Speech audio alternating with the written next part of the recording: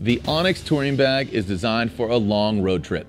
Pack all the clothes you need in the main compartment and use the top compartment to keep your shoes separate or unzip the divider for even more space.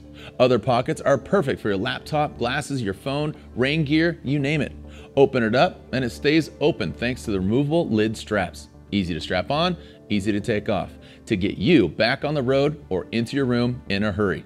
Onyx Luggage. See your local Harley Davidson dealer and be ready for your next adventure.